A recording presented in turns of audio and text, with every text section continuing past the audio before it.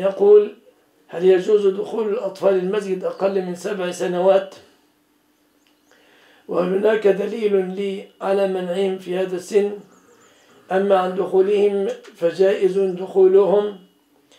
لقول النبي صلى الله عليه وسلم إني أدخل الصلاة أريد إطالتها فأسمع بكاء الصبي فأخفف من شدة وجد أمه عليه. وكذلك فإن عمرو بن سلمة كان يؤم أهله أو أهل حيه وعمره من ست سنوات إلى ثمان سنين.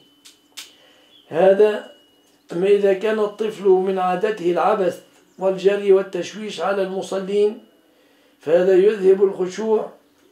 والله سبحانه وتعالى يقول قد أفلح المؤمنون الذين هم في صلاتهم خاشعون فإذا كان يذهب الخشوع يمنع منعا للفوضى في الصلاة والله أعلم.